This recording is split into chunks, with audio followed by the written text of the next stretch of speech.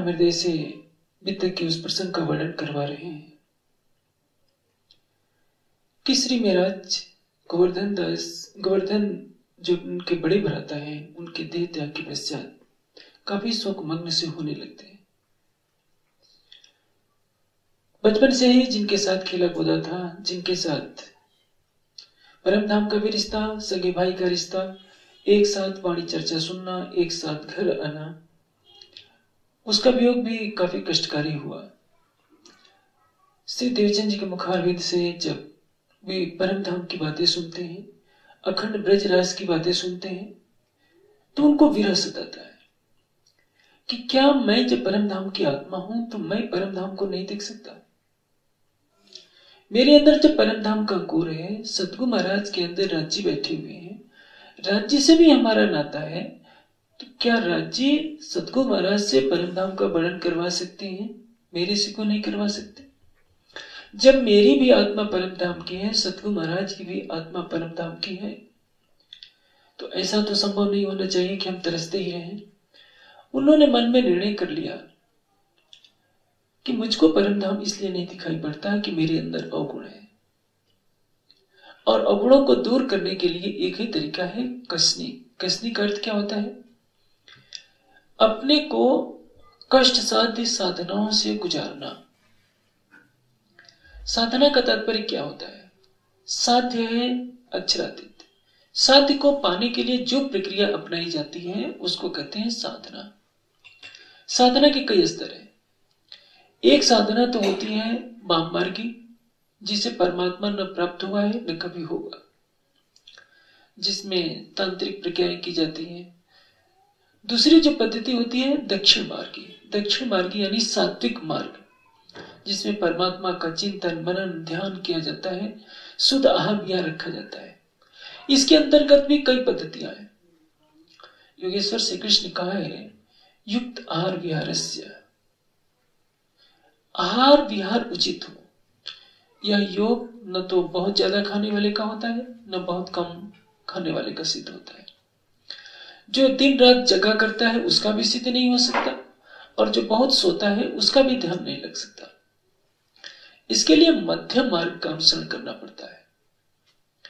लेकिन जब हृदय में व्यग्रता हो जाती है कि मुझे जल्दी से परमात्मा मिल जाए तो लगभग हर कोई साधक कहीं ना कहीं अपने को कसौटी से, शरीर को कष्टमयी साधनाओं से गुजारना शुरू कर देता है।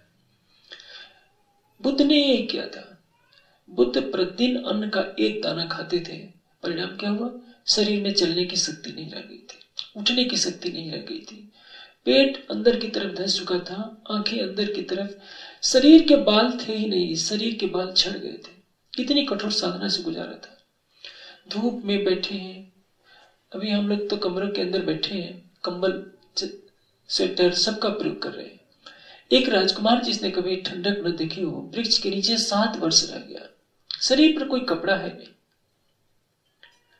केवल कमर में एक छोटा सा वस्त्र लपेट रखा है। उनको लू भी लगती होगी शीत भी लगती होगी, वर्षा हो रही है, सब झेल रहे हैं। उनको ये लगा कि इतनी कष्ट साध्य साधना करूँगा तो मुझे बुद्धत्व प्राप्त हो जाएगा, ज्ञान प्राप्त हो जाएगा। या लोग ये सोचते हैं कि हमें परमात्मा का साक्षात्कार हो जाएगा। मिराज से भी यही बात होती है। उन्होंने सोचा कि सोने के अंदर माया रहती है। इसलिए एक दिन गए, अपनी पत्नी के सारे आभूषण ले जाकर सतगुरु महाराज के चरणों में आए। हाथ जोड़कर कहते हैं कि सतगुरु महाराज, आप मेरे अवगुण बताइए। देवचंद जी कहते हैं कि भाई, तुम्हारे अंदर कोई अवगुण नहीं। तू परम धाम की इंद्रावती आत्मा है, आत्मा के अंदर कोई विकार होता ही नहीं। फिर धीरे धीरे उतरते आहार घटाइया। अपना आहार घटाते जाते हैं, शरीर पीला पड़ता जाता है। यदि रास्ते में कोई मित्र मिल जाता है तो मुँह फेर कर दूसरे रास्ते से चल देते हैं कि ये राह में मिलेगा तो मुझसे संसार की बातें करेगा और मेरा ध्यान अपने प्राण प्रीतम से अलग हो जाएगा। संसार उनके लिए सपने जैसा लग रहा है। पत्नी है, परिवार है, लेकिन किसी से उनको लगाव नहीं रह गया है। केवल एक ही तमन्ना है कि मुझे परम धाम दिखे। मैं भी सतगु महाराज की तरह परम धाम का वर्णन किया करूँ। चर्चा सुनते समय उनके आँखों से आँसू की धारा निकलती है, यानी विरह के सारे लक्षण प्रकट हो गए। अब प्रश्न ये है कि क्या अवगुणों के कारण दर्शन नहीं होता? ये बात काफ़ी हद तक सही है। तीन कारणों से ब्रह्म का दर्शन नहीं होता। एक तो है मल। यानी यदि हमारे अंदर काम क्रोध मद लोभ के विकार रहेंगे तो मन उसी में भटकता रहेगा और दर्शन नहीं हो सकता। दूसरा है विक्षेप। विक्षेप का अर्थ होता है दर्पण है। जैसे दर्पण के ऊपर धूल जम जाएगी तो उसमें अपना प्रतिबिंब नहीं दिखेगा। यह है मल हमारा मन यदि विकारों से ग्रसित हो जाएगा तो उसी में आनंद मानने लगेगा, वो परमात्मा से प्रेम नहीं कर पाएगा। दूसरा ही विक्षेप। यानी हिलता डुलता दर्पण रहे तो बढ़िया से अपना चेहरा नहीं देखा जा सकता। यदि हमारे मन में राज्य के प्रति एक निष्ठ प्रेम नहीं है, प्रेम तो संसार में सबसे अच्छे संबंध निभाने ही पड़ते हैं। माता पिता गुरु, आचार्य भाई बहन सबसे मधुर संबंध बनाने ही पड़ते हैं। लेकिन पहली प्राथमिकता राज्य की होनी चाहिए। यदि हमारा मन राज्य की तरफ़ कम लगता है, औरों की तरफ़ ज़्यादा लगता है तो राज्य कहाँ मिलेंगे? एक पुजारी जी थे, मेरी आँखों देखी घटना है। कोई बहन मिलने आई थी तो चौपाई भोग लगा रहे थे। एक चौपाई अंदर मंदिर में जाते थे, उनको रहा तो जाता नहीं था। फिर बाहर आकर के बात कर जाते, फिर अंदर जाकर एक चौपाई बोलते, क्योंकि उधर दोपहर की भोजन का समय हो गया था। भोग भी लगाना था, लेकिन उनका मन कहाँ अटका हुआ था? उस महिला से बात करने में। फिर एक चौपाई बोले, फिर आ जाए। मैंने कहा कि पुजारी जी, या तो पहले बात कर लीजिए, या पहले भोग लगा लीजिए। क्यों? मन है नहीं, चारों तरफ़ भाग रहा है। हमारा वो प्रेमी, हमारा वो प्रेमी, भाई के बिना रहा नहीं जाता, पत्नी के बिना रहा नहीं जाता, पति के बिना रहा नहीं जाता, कहाँ से राज्य मिलेंगे? ये है विक्षेप। और तीसरा है आवरण। दर्पण के ऊपर कागज़ रख दीजिए अब चेहरा देखिए दर्पण वही रहेगा, लेकिन आपको दिखाई नहीं पड़ेगा। हमारे चित्त में यदि संसार के सुखों की इतनी कामना हो कि वो राज्य से ज़्यादा अच्छी लगे तो भी राज्य का दर्शन नहीं हो सकता। तीन कारण है। लेकिन एक चीज़ है, लोहा काला होता है, उसमें जंग लगी होती है। आप जंग लगे लोहे के कालापन को देख करके टेंशन पैदा कर लीजिए। कि ये तो जंग लगा है, काला कलूटा है, कैसे साफ़ होगा? तो इसी टेंशन में सारा समय व्यतीत हो जाएगा, लाभ कुछ नहीं है। आप आँख मुद कर उसको दहकती हुई अग्नि के अंदर डाल दीजिए। क्या होगा? लोहा गर्म होगा पहले, उसके बाद वो इतना दहकने लगेगा, खुद आग जैसा हो जाएगा। अक्षरातीत क्या है? अनंत प्रेम का सागर है। प्रेम की अग्नि में आपके काम क्रोध, मद लोभ, अहंकार के सारे विकार जल करके राख हो जाएँगे। आपको कुछ नहीं करना पड़ेगा। आप सारे जीवन तपस्या कीजिए। गौतम बुद्ध की तरफ़ तपस्वी आप बन नहीं पाएँगे। सुखदेव की तरफ़ ब्रह्मचारी अब बन नहीं सकते। संकादि की तरह निर्विकार अब बन नहीं सकते। जो हिमालय की गुफा में बैठकर ध्यान साधना कर रहे हैं, उनकी तरह आप हो नहीं सकते। उनकी तरह विरक्त भी नहीं हो सकते कि हिमालय की गुफा में जाकर बैठ जाए। लेकिन इन महान विभूतियों को अक्षरातीत नहीं मिल पाया और आपको मिल जाएगा। किस लिए? क्योंकि अक्षरातीत के प्रेममय स्वरूप का ज्ञान आपको है। आपको मालूम है कि युगल स्वरूप की शोभा श्रृंगार क्या है? आपको उनके दर्शाए हुए मार्ग को नहीं अपनाना है। जैसे राजकुमार सिद्धार्थ ने अन्न का एक एक दाना खाना शुरू कर दिया, और यदि सुजाता ने खीर नहीं दी होती तो बुद्ध के उस दिन प्राण निकल जाने थे। चलने की ताकत नहीं थी। कष्ट देने से प्रियतम के मिलन का कोई संबंध नहीं है। हाँ समन होना चाहिए।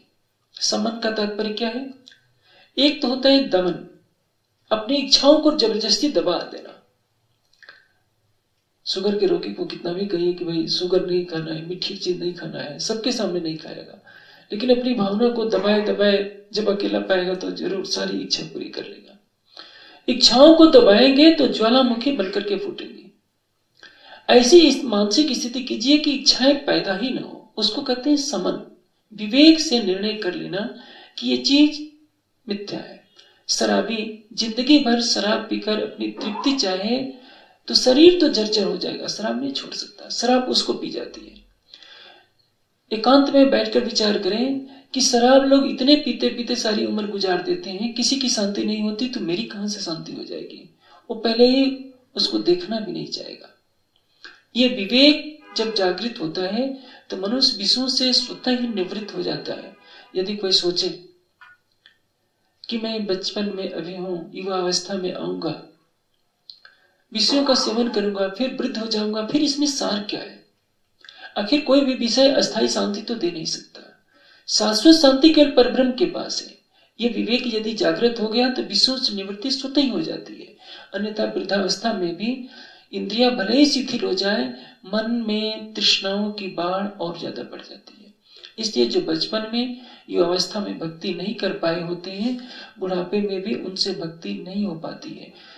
चार वृद्ध बैठे रहेंगे, संसार की बातें करेंगे, लेकिन उनको कहिए कि, सत्संग सुनो, परमात्मा की भक्ति करो, कह देंगे कि, समय ही नहीं मिलता है। क्योंकि उनका मन बुढ़ापे में चंचलता को प्राप्त हो गया होता है। इसलिए विवेक से विषयों की निवृत्ति की जैसे योग सांख्य दर्शन में बताया है, अहि निवलनिवत सर्प जैसे केचले को छोड़ने के बाद ही शांति पाता है, वैसे विषयों की निवृत्ति के बाद ही शाश्वत सुख मिल सकता है। सर्प यदि उंगली में काट लेता है तो क्या करते हैं? उंगली को काट देते हैं। छिन्न हस्तवत्वा संख्य का एक सूत्र है। जब उंगली कट जाती है तो विष से निवृत्ति हो जाती है। हम यदि मोह करेंगे कि अपनी इतनी सुंदर उंगली को क्यों काटे तो विष अंदर प्रवेश कर जाएगा और हमारे लिए घातक हो जाता है। मनुष्यों का कथन है दोषेण तीव्रो विषय कृष सर्प विषाद अपि। विषम निहंत भोक्तारम दृष्टारम चक्षा अभियम विषय का विष काले सर्प के विष भी अधिक भयंकर होता है। क्योंकि काले सर्प का विष तो एक जन्म में मारता है, और विषय का विष तो जन्म जन्म चौरासी लाख योनि में घुमाकर जीव को मारता रहता है। ये इसकी निवृत्ति कब होगी? केवल विवेक से। सर्प को देखिए, ज़िंदगी भर आहार करता रहेगा मांस का। कीड़े मकोड़ों को खाता रहेगा, मेढक खाता रहेगा। बाघ को देखिए ज़िंदगी भर पशुओं का मांस खाता रहेगा। क्या उसके पास तृप्ति है? वो भोग योनि है। तृष्णा को तृप्त करने के लिए तो उस योनि में उस बेचारे जीव को जन्म मिला है। केवल मनुष्य योनि ही है जिसमें विचार किया जा सकता है कि मैं क्या इस विषय से तृप्त हो सकता हूँ कि नहीं। तंबाकू खाने की जिसको लत पड़ जाती है, लाख समझाइए, छोड़ना उसके लिए कठिन होता है। तंबाकू में कोई स्वाद नहीं, शराब स्वाद नहीं। मांस में कोई स्वाद नहीं। लेकिन अस्सी प्रतिशत दुनिया कितनी तेज़ी से इसके पीछे भागी जा रही है। सोचती है कि यही अमृत है। शराबी को शराबी अमृत के समान दिखाई देती है। अफीम जी को अफीम ही लगता है कि यह सबसे बड़ा व्यंजन है। उसके मन में वासना है। और वासना का जितना ही सेवन किया जाता है, संस्कार उतने ही मज़बूत होते जाते हैं। जैसे आज किसी ने एक घूंट शराब पिया कल को दो घूंट चाहेगा परसों तीन घूंट चाहेगा उम्र जैसे जैसे बढ़ती जाएगी, समय बीतता जाएगा, उसकी तृष्णा और बढ़ती जाएगी। यदि उसके अंदर विवेक जागृत हो गया कि नहीं, इससे मुझे शांति नहीं मिलती है। भोगात न रख शांति मुनिवत सौ भरी मुनि थे सांख्य का सूत्र है कि भोग से कभी भी सौभर मुनि की तरह तृष्णाओं की शांति नहीं हो सकती। बचपन से जंगल में जाकर के घोर तप करने लगे। आधी से ज़्यादा उम्र बीत जाती है। एक बार नदी में स्नान करने जाते हैं। वहाँ एक मछली का जोड़ा नदी के अंदर क्रीड़ा कर रहा होता है। उन्होंने सोचा कि मुझे तो मालूम ही नहीं कि गृहस्थी क्या होती है। ये देखो, मछली का जोड़ा कितने प्रेम से विहार कर रहा है। मैं भी तो देखूँ विवाह होता क्या है? मंदाता के पास गए और मानदाता की पचास कन्याओं से विवाह किया। पचास कन्याओं ने उनका अपना पति चुन लिया। धीरे धीरे उनकी सैकड़ों संतानें हो गई। एक दिन उनको वैराग्य होता है। अरे, मैं जंगल में रहने वाला। सब कुछ छोड़कर परमात्मा के ध्यान में रहता था और मैं किस जंजाल में फंस गया हूँ। तुरंत अपना निवास छोड़ा और जंगल में पुनः प्रवेश करके यही कहते हुए न जातु काम कामा नाम उपभोगेन उपसाम्यत। वर्तते कृष्ण वर्तम एवं भूय एव अभिवर्तते। जैसे घी में, अग्नि में घी डालने पर उसकी लपटे और तेज होती जाती हैं। वैसे ही इच्छाओं के भोग से इच्छाएँ कभी भी शांत नहीं होती हैं, लेकिन बढ़ती ही जाती है। लेकिन विवेक तो सौभर को इस लिए आया, क्योंकि उन्होंने पहले में घोर तप कर रखा था, परमात्मा की भक्ति कर रखी थी। जिसके हृदय में ज्ञान का प्रकाश नहीं है, सत्संग का बल नहीं है, भक्ति नहीं है, वो तो बेचारा एक बार यदि कीचड़ में फंस गया, जैसे गंगा के किनारे, समुद्र के किनारे का यदि दलदल हो, एक बार पैर फंस जाता है, उससे निकालने की जितनी आप कोशिश करेंगे, दूसरा पैर भी फंस जाता है धीरे धीरे सारा शरीर उस दलदल में धस जाता है। इसलिए बिना विवेक के मनुष्य विषयों की अग्नि में वैसे ही जल जाता है, जैसे पतिंगा दीपक की अग्नि में जल कर राख हो जाता है। इससे बचने के लिए मनुष्यों ने सोचा कि हम इनका बिल्कुल त्याग कर दें। लेकिन यदि मन नहीं मरा तो इंद्रियों को हट पूर्वक रोकने से कोई लाभ नहीं होता। हाँ ये ज़रूर है कि समन भी कार्य करता है और दमन भी कार्य करता है। लेकिन समन पहले होना चाहिए, दमन बाद में होना चाहिए। जैसे सूरदास जी ने एक खूबसूरत स्त्री को देखा वैराग्य तो उनको हो चुका था, लेकिन पानी पीने गए खूबसूरत स्त्री को देखा तो उनके मन में विकार आया। उसने सोचा, उन्होंने सोचा कि मैं आँख से देख करके मेरे में विकार आया है। उस बहन से सुई मांगा और अपनी आँखें फोड़ ली। आँख का कोई दोष नहीं। दोष किसका है? मन का। इन्हीं आँखों से जब हम माँ को देखते हैं तो चरण छूते हैं। बहन को देखते हैं तो प्रेम आता है। तो आखिर हर स्त्री को उसी दृश्य क्यों नहीं देखते? विवेक पर निर्भर करता है कि हमारी दृष्टि है। इन्हीं कानों से हम भजन सुनते हैं, इन्हीं कानों से हम गंदे अश्लील गीत भी सुनते हैं। इस, इन्हीं हाथों से हम माता पिता गुरुजनों के चरण छूते हैं, इन्हीं हाथों से हम गलत स्पर्श भी कर सकते हैं। हाथों का कोई दोष नहीं, आँखों का दोष नहीं, इसी जीवा से हम मांस का सेवन कर सकते हैं, इसी जीवा से हम फल फूल खाकर भी जीवन गुजार सकते हैं। दोषी कौन है? मन। मन भी बेचारा क्या करेगा? मन तो सत्व रज तम के बंधन में है। यदि सत्व रज तम साम्य अवस्था में रहते हैं तो सृष्टि होती ही नहीं। रजोगुण और तमोगुण को हटा दीजिए। केवल शुद्ध सात्विक अवस्था में आ जाइए तो ज्ञान का प्रकाश अवश्य होगा। इसलिए ऋषियों ने विधान बनाया है कि आहार सात्विक हो। सात्विक आहार किसको कहते हैं? जिसमें अल्प मात्रा हो। सात्विक आहार भी मात्रा से ज़्यादा हो जाएगा तो वो सात्विक नहीं रह पाएगा, उससे साधना नहीं हो सकती। आप कहते हैं कि दूध सात्विक है, एक लीटर साधना ध्यान में बैठने से पहले। यदि आप एक लीटर दूध पी लीजिए तो कहाँ से ध्यान लगेगा? कहेंगे कि फल सात्विक है। फल भी आप दो किलो फल खा लीजिए, मेवा खा लीजिए आप ध्यान में बैठ जाइए, ध्यान कहाँ लगेगा? कुछ भी खाइए, अल्प मात्रा में खाइए, लेकिन इतना न कम कर दीजिए कि शरीर में बैठने की शक्ति ही न रहे। मेरा से यही भूल हुई राजकुमार सिद्धार्थ से यही भूल हुई। अंत में सिद्धार्थ को कैसे बोध प्राप्त हुआ? उन्होंने देखा कि एक कुछ बहनें गीत गाती हुई जा रही थी। उसका आशय था बीड़ा के तारों को ज़ोर से न खींचो, नहीं तो वो टूट जाएँगे।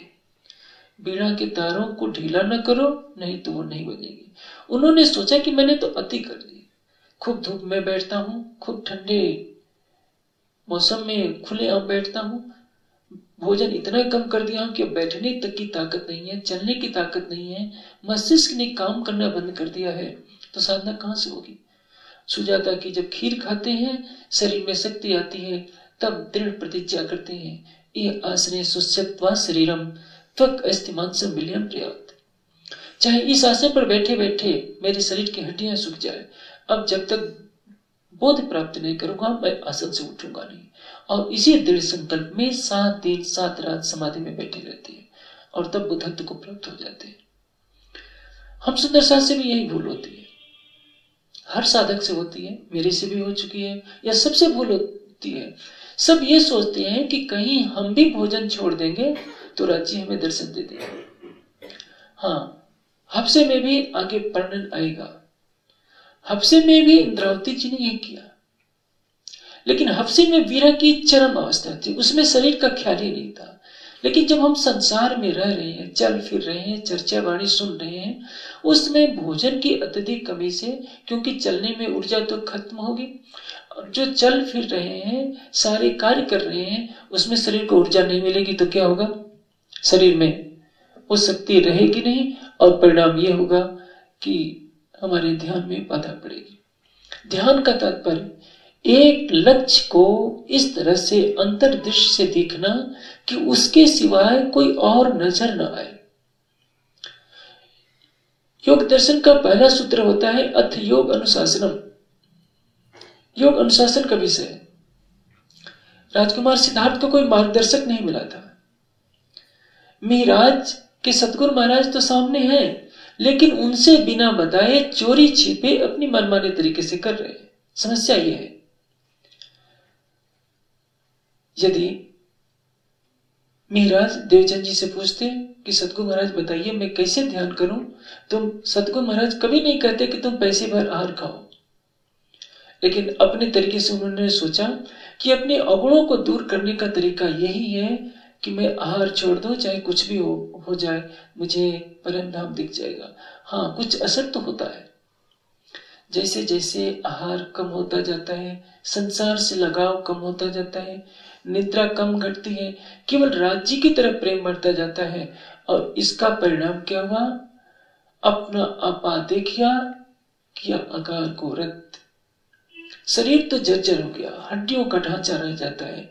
लेकिन अपना आपा देखिया, अपनी परात्म का दर्शन कर लिया ध्यान के द्वारा। धाम फिर वल्या चौगिरत।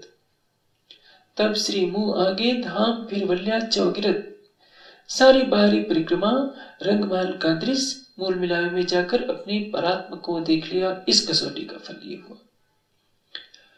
सुंदर साथ के सामने एक बहुत बड़ी उलझन पैदा कर दी जाती है कि सुंदर साथ जी, चालीस साल से पहले आपको कोई भी दर्शन नहीं हो सकता। ये सब मिथ्या बातें हैं। कहीं बाणी में नहीं लिखा है कि चालीस साल से पहले दर्शन नहीं होगा पहली बार देवचंद जी को कब दर्शन होता है? जब सोलह साल की अवस्था है। दूसरी बार दर्शन कब होता है? जब 25-26 साल की अवस्था चितवनी में सदगुरु धनी देव चंद जी की सुरता अखंड ब्रज में जाकर अपने धाम धनी का दर्शन करती है बाल मुकुंद के रूप में। और तीसरी बार तो 40 साल की अवस्था में उनको सारा जागने का भार सौंपना है। ये ज़रूर है कि परिपक्व अवस्था 40 साल में आती है।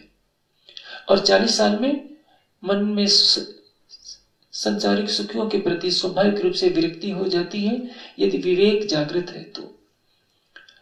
श्री महाराज की उम्र है इस समय लगभग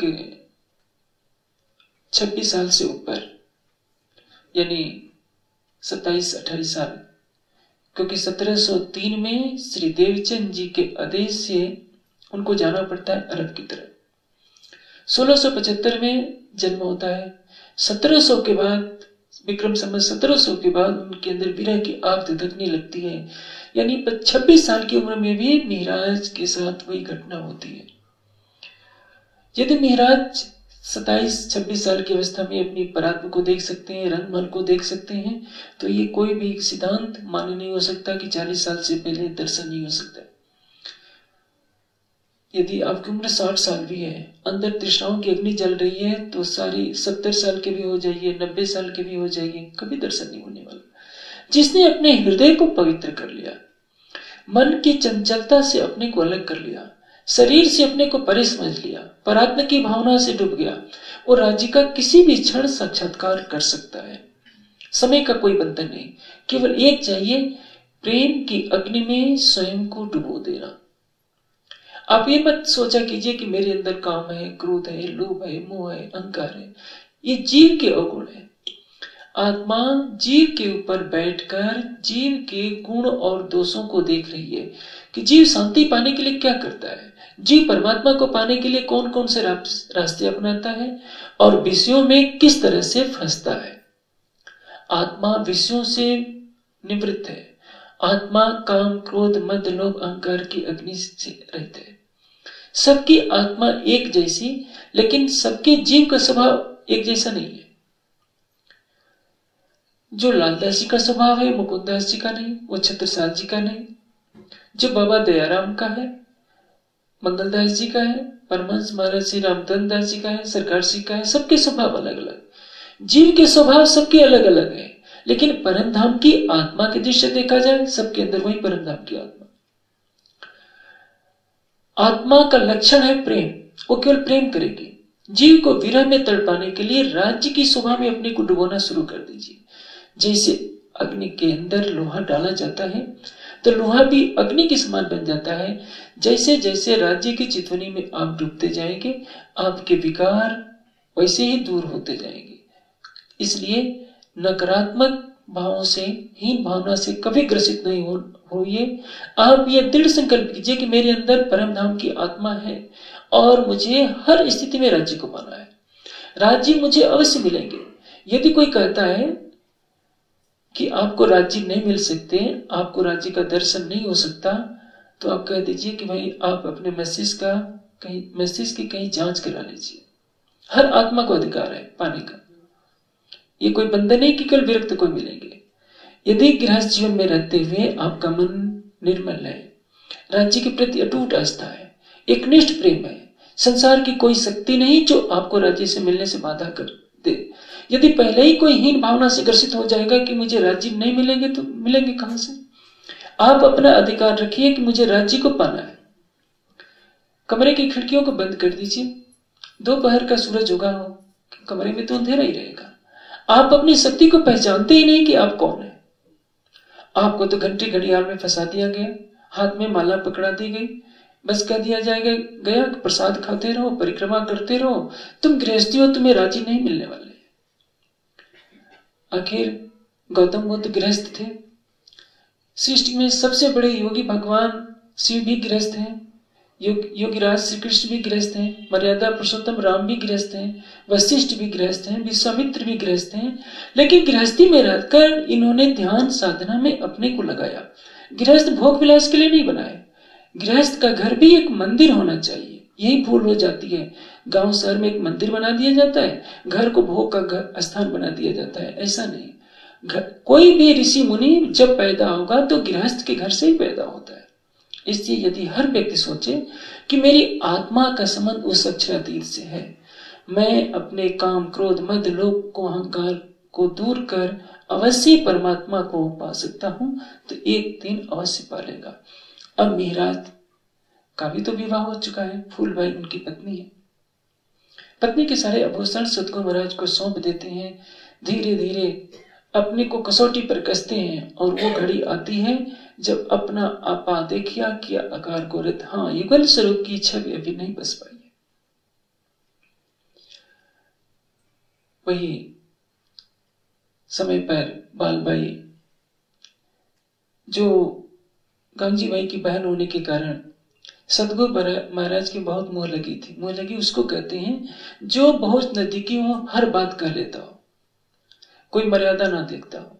बाल भाई कहती है सदगु महाराज से कि सदगु महाराज, एक भाई तो पहले चला गया। कसौटी करते करते, और ये भी जाने को तैयार है, आप क्या सोच नहीं रहे हैं? आप मेराज की हालत तो देखिए, इन्होंने क्या कर रखा है अपने को? खाना पीना सब छोड़ दिया है, शरीर पीला पड़ गया है, ताकत है नहीं चलने की, आप इनको समझाते क्यों नहीं?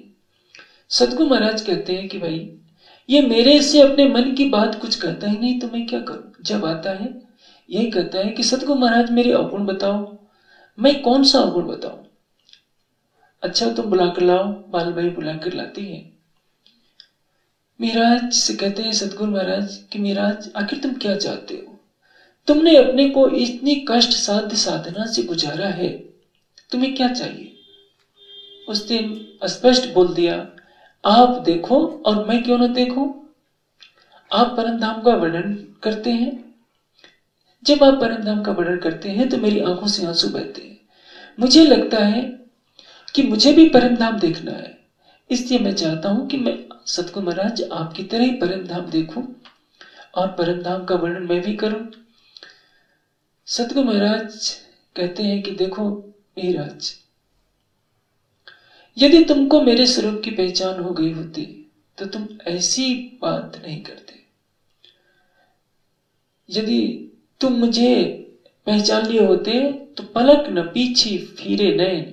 तू एक पल के लिए भी मेरे से अलग नहीं होता, और दिन रात परिक्रमा करता। परिक्रमा करने का मतलब अलग होने का प्रश्न ही नहीं। जैसे परिक्रमा करने वाला अपने आराध्य से कभी अलग नहीं होता, उसके इर्द गिर्द ही घूमता है तो कहते हैं कि तू हमेशा मेरी परिक्रमा करता रहता और पल भर के लिए भी कभी अलग नहीं होता। ये तो बात हुक्म की, सो वे एक ही ठोर। यदि तुम अभी जल्दी करना चाहते हो तो एक तरीका है कि मुझे इस दुनिया से अलग होना पड़ेगा। मोहे उठाए तुम बैठो। इसका अर्थ ये नहीं कि गादी से उठा दो तो तुम्हें परम धाम दिख जाएगा। उठाने का मतलब संसार से उठाना। मुझे शरीर छोड़ना पड़ेगा, क्योंकि मैंने तुमको बता दिया है कि धामधनी तुम्हारे तन से लीला करने वाले हैं। जब धामधनी तुम्हारे अंदर विराजमान हो जाएँगे तो तुम्हें भी परम धाम दिखने लगेगा। तुम मेरी तरह ही परम धाम का वर्णन करने लगोगे। अभी राज्य मेरे तन में है तो यदि जल्दी है तो मुझे अपने शरीर को छोड़ना पड़ेगा। और यदि तुम ऐसा करना चाहते हो, जल्दी देखना चाहते हो तो और कोई चारा नहीं है कि मैं शरीर छोड़ू? मुझे तुम्हें उठ, तुम्हें मुझे इस दुनिया से विदा करना पड़ेगा। क्या तुम इसके लिए तैयार हो? आज को बहुत दुख हुआ कि क्या मैं अपने लक्ष्य की पूर्ति के लिए सतगु महाराज को शरीर छोड़ने के लिए विवश करूँ? आप इसका अर्थ यह न समझ लीजिए कि सतगुरु महाराज और मेहराज जैसी बात सबके साथ ही है। उस तन से अक्षरातीत की लीला होनी थी, इसलिए ये प्रतिबंध था।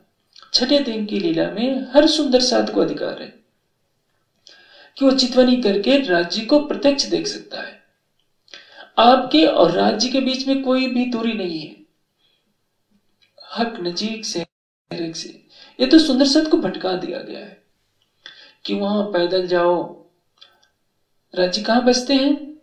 आश्रम में, मंदिर में, वहाँ अमुक स्थान पर, अमुक स्थान पर। प्रीतम कहीं एक स्थान पर बसता नहीं है।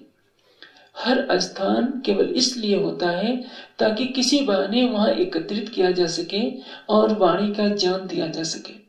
यदि दिन रात आप वहाँ रहिए भी, आपके अंदर प्रेम नहीं है, आपके अंदर विरह नहीं है तो रांची आपको मिलने वाले नहीं। जिस मंदिर या आश्रम में आप कहीं भी दर्शन करने जाते हैं, क्या उनके पुजारियों को कुछ मिलता है? यदि पुजारी भी राज्य का ध्यान नहीं करें संसार की माया में आ सकता हो तो उनको भी राज्य नहीं मिल सकते हैं, जो दिन रात वहाँ रहते हैं। कहा मिलेगा? हक नजीक से रख से। वो प्राण की नली से नज़दीक है। जैसा बाहर होते हैं, जो हो ऐसा दिल तो अदखिन पी न्यारा नहीं, माहे रहे हिल मेरे कहने का आशय ये नहीं है कि आश्रमों और मंदिरों का महत्व तो नहीं है। खुले आकाश के नीचे तो चर्चा बाणी होगी नहीं। यहाँ छत है, तभी तो हम लोग चर्चा वाणी कर रहे हैं। इस दृष्टि से हर आश्रम और मंदिर का महत्व है, लेकिन वो जन जागृति का केंद्र है। ये प्रबोधने के लिए है कि अक्षरातीत है, वाणी है, उसके ज्ञान को हमें आत्मसात करना होगा। लेकिन प्रीतम को जब पाना है तो अपने मन को शांत करना ही पड़ेगा। बाहर के संसार को देखना बंद कर, अपने हृदय मंदिर में प्रेम की दृष्टि लानी पड़ेगी और जब खोजेंगे तो कहीं नहीं अपने हृदय मंदिर में मिल जाएगा। इसलिए तो सिंधी बाणी पुकार पुकार कर कहती है, हक नजीक से रख से आड़ो पटना द्वार खोली आँखें समझ के, देखती न देखे बरदार हम देखते हुए भी नहीं देख पा रहे ये सिंधी वाणी बता रही है। सागर की वाणी क्या कहती है? अर्ज़ तुम्हारा मेरा दिल है, इत आए करो आराम। उस समय तक कोई वाणी उतरी नहीं थी। सतगु महाराज की चर्चा सुनते थे। महाराज इसलिए उनके अंदर ये विरह की आग धधकी कि मुझे प्रीतम चाहिए। और विरह नहीं, ब्रह्मांड में बिना सुहागी नार। परम धाम की ब्रह्मश्रेष्ठी ही विरह की राह बना सकती है। बड़े बड़े ऋषि मुनि हो गए, योगी यति भी हो गए, साधु संत भी बहुत हैं, वो साधनाएँ कर सकते हैं, तपस्या कर सकते हैं, विद्वता ग्रहण कर सकते हैं। लेकिन विरह में तड़पना किसी किसी के लिए संभव होता है, और वो केवल परम धाम की ब्रह्मात्मा ही कर सकती है। परमहंस महाराज श्री रामचंद्र जी ने अपने को विरह की अग्नि में इतना झोंक दिया था, उनकी भी हालत वैसी ही हो गई थी, जैसे कभी राजकुमार सिद्धार्थ की हो गई थी। अभी आगे प्रसंग आएगा कि हफ्से में मेराज की हालत क्या हो जाती है। उस समय भोजन की इच्छा ही नहीं रहती, भोजन की तरफ़ देखने की इच्छा नहीं होती, संसार को भी देखने की इच्छा नहीं होती, यह स्वाभाविक हो जाता है। अंत में बाल भाई ने कहा कि सतगु महाराज, ये खाली बैठे रहते हैं, कोई काम धाम तो इनको है नहीं। आप किसी न किसी सेवा में इनको लगा दीजिए, ताकि इनका मन उसी में लग जाए। अब सतगु महाराज उनको गुजरात भेजते हैं। गुजरात यानी अहमदाबाद। किस लिए? कुछ धार्मिक ग्रंथ, पुराण संहिता, महेश्वर तंत्र, सनत कुमार संहिता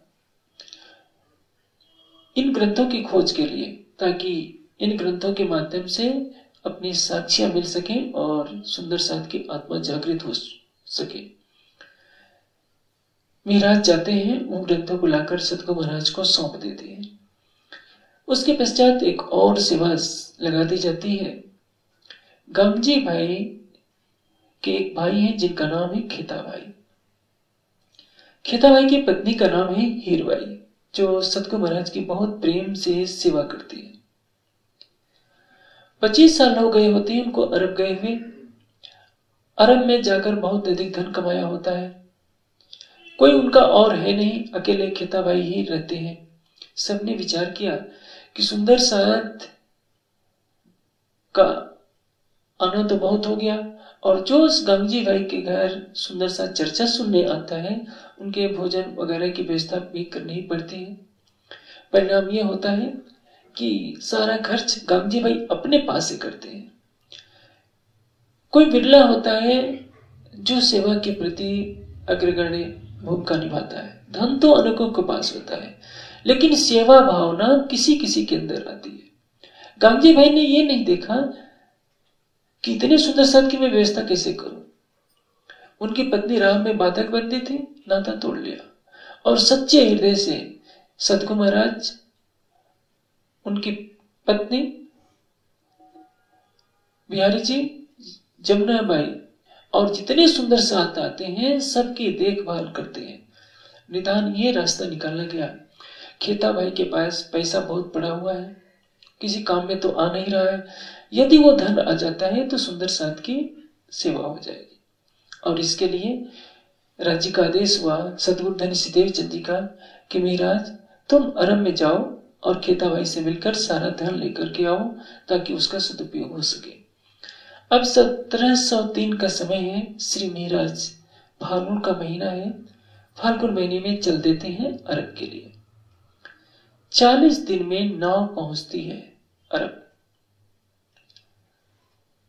अरब में जाने के बाद खेता भाई का जो पता दिया होता है महाराज मिलते हैं। गांधी भाई के हाथ के लिखा हुआ पत्र भी दे देते हैं खेता भाई बहुत प्रेम से मिलते हैं। लेकिन बिन अंकुरे क्या करें, सुख लिखा नहीं तारे मिले बहुत पुकार करो किस खातिर इतु सुपन स्वरूप बेहद बनच का होएगा साथी, सो एक लवे हो सी टुकटू जो परमात्मा होगी, बेहद की सृष्टि होगी, वही परम धाम के ज्ञान को ग्रहण करेगी। मीराज खाली समय में उनको चर्चा भी सुनाते हैं। लेकिन खेता भाई माया का जी चर्चा सुनते सुनते कह देता है, मीराज, रुको, अभी उस व्यक्ति से इतने हज़ार रुपए लेने मीराज परेशान कि भाई तुम्हें लेन देन जो करनी है, चर्चा से पहले करो, लेकिन वो बैठा है खेता भाई सामने। ध्यान कहाँ घूम रहा है? पैसे में लेन देन में। सारी ज़िंदगी उस बेचारे ने उसी में गुजारी थी। कहाँ से माने लगे? करते करते चार वर्ष बीत जाते हैं। खेता भाई का देह त्याग हो जाता है। और श्री महाराज जितना धन रखता है, सबको लिखित में लिखते जाते हैं कि इनसे इतना धन लिया, इनसे इतना धन लिया। ये धन ऐसी चीज़ है धनात धर्म है तथा सुखम। धन से धर्म होता है, लेकिन धन के लोभ से अधर्म होता है। इसलिए वेद ने कहा, तेन तक तेन भुंजिधा माँ हृदय धन परमात्मा ने जो कुछ दिया है, उसका त्याग पूर्वक भोग कीजिए। धन को अपना न मानिए, धन कमाइए, लेकिन ये सोचिए कि ये धन परमात्मा का है, मेरा नहीं है। मेरा उतना ही है जितना मेरे लिए आवश्यक है। या तो परमात्मा का है, या इस राष्ट्र का है, या तीसरे नंबर पर मेरा है। मनुष्य सोचता है कि यह धन मेरा है, यही से वो भूल में पड़ जाता है। मेरा मेरा करते करते उसकी उम्र चली जाती है। मेरी मेरी करत दुनी चाहते बोझ ब्रह्मांड सिरले में। और ये धन है जो पिता और पुत्र के बीच, भाई भाई के बीच, माँ बेटे के बीच में, पति पत्नी के बीच में दरार डालता है। इस धन से भोजन मिलता है, इस धन से सिर के ऊपर छत मिलती है, इस धन से वस्त्र मिलता है। यहाँ तक तो ठीक है, लेकिन यही सब कुछ हो जाए, इसी के पीछे मनुष्य पाप करने लगता है, धन के पीछे भाई भाई का कत्ल करवाने लगता है पिता पुत्र एक दूसरे के दुश्मन हो जाते हैं, यहीं से पाप की नदी में मनुष्य गिरना शुरू कर देता है। त्याग पूर्वक धन का भोग कीजिए, पुरुषार्थ कीजिए लेकिन परमात्मा का धन मानकर संसार के कल्याण के लिए खर्च कीजिए, इसी में सबका सुख होता है। खेता भाई ने तो आसक्ति वश कमाया था। ब्रह्म ज्ञान भी सुन नहीं सका और दुनिया से खाली हाथ चला गया। शरीर तो सबको छोड़ना होता है, लेकिन विवेकवान वो होता है जो शरीर छोड़ने से पहले अपनी आत्मा के हृदय मंदिर में अपने प्राणेश्वर को बसा ले। जो नहीं कर पाता वो निरर्थक ही उसका जीवन बीत जाता है। खेता भाई के साथ ये हुआ। अब महाराज ने ये सूचना पत्र के माध्यम से सतगुरु महाराज के पास भिजवा दी। जब धन वसूलने के कार्य में महाराज बाहर गए हुए थे, वहाँ का हाकिम से एक सलाह था। उसने सोचा कि खेता भाई अकेले रहते थे, उनका कोई वारिस तो है नहीं, सारी संपत्ति जब्त कर ले। क्योंकि मुस्लिम देशों में ऐसा कानून होता है कि गैर इस्लामिक व्यक्ति को यहाँ की संपत्ति बाहर ले जाने का अधिकार नहीं है, यदि उसका कोई वारिस नहीं है तो। परिणाम यह हुआ कि जब तो जब मिहराज आते हैं तो देखा कि इसने तो हाकिम ने कब्जा कर रखा है। उन्होंने दौड़ धूप की कि भाई देखिए, मैं खेता भाई का भाई हूँ और खेता भाई के भाई कागज़ी भाई ने मुझे भेजा था मैं इनका वारिस हूँ, यह संपत्ति मुझे मिलनी चाहिए। शेख सल्लाह ने सोचा कि हमारे देश से हिंदुस्तान पैसा जाए। ये कभी हमें स्वीकार नहीं। उसने एक तय, एक रास्ता निकाला कि यदि मीराज की हत्या कर दी जाए तो रास्ता साफ़ हो जाएगा। मीराज को पूछने वाला यहाँ कौन है? और अंत प्रेरणा होती है मीराज को। जो उनके नजदीकी थे, उन्होंने बताया कि आप यहाँ से चले जाए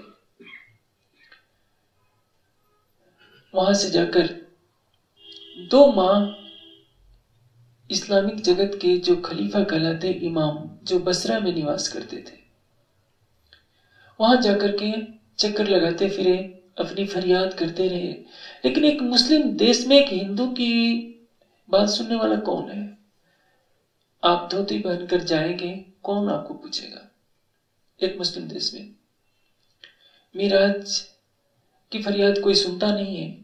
निराश होकर एक दिन जा रहे हैं। अब राज्य का जोश एक आरब के रूप में उनके सामने प्रकट होता है। कहता है कि, मुसाफिर तो इतना चिंतित क्यों है? मिराज अपनी सारी बात बताते हैं। कहते हैं कि, मेरे भाई का धन हाकिम ने हड़प लिया है और वो देना नहीं चाहता। अरब कहता है कि, मुसाफिर, तू चिंता न कर। जुमे की नमाज़ पढ़ने के लिए बादशाह इधर से गुजरेगा। ये देखो, मैं पत्र लिख देता हूँ, तुम ये पत्र उनको दे देना। तुम डरना नहीं। और जब बादशाह इधर से गुजरे तो उनका दामन पकड़कर खींच देना। चिंता नहीं करना, तुम्हें कुछ नहीं होगा। मेरी बात पर विश्वास करो। पत्र लिख करके दे देते हैं, और मीरा जब मुँह उधर करते हैं, वो अदृश्य हो जाते हैं। जुमा यानी शुक्रवार का दिन है, बादशाह आ रहा होता है अपने संरक्ष अपने रक्षकों के साथ। मिराज को बात याद थी और वो आगे बढ़े। अंत प्रेरणा ने मजबूर किया। आगे बढ़े, घबराए नहीं और दौड़ते हुए उनका दामन झटक दिया। आप जानते हैं, कोई मंत्री, राज्यपाल या प्रधानमंत्री राष्ट्रपति जब जाते हैं तो आगे पीछे चारों तरफ़ कितनी सुरक्षा खड़ी होती है। इतने सुरक्षा कर्मियों के बीच में चले जाकर के और बादशाह का दामन खींचना सरल कार्य नहीं था। सबने तलवारें निकाल ली किसको भी अभी टुकड़े कर दे। बादशाह ने कहा कि रुको। लात, खौफ या बनी कहा कि बेटे, डरो नहीं, तुम अपनी बात कहो। क्योंकि इस व्यक्ति ने जो बात कही है, इस व्यक्ति ने यदि दामन मेरा पट खींचा है तो कुछ रहस्य है। किसी की हिम्मत ही नहीं पड़ सकती मेरे पास आने की। और इसने यदि दामन खींचा है तो बिना जाने इसको मारना उचित नहीं। मिराज ने कहा कि, बादशाह, मैं दो महीने से आपके दरबार के चक्कर लगा रहा हूँ। कोई भी दरबारी मुझे आपसे मिलने नहीं मिलने देना नहीं चाहता और मेरी फरियाद सुनी नहीं जा रही है। बादशाह कहता है, तुम्हारी क्या समस्या है?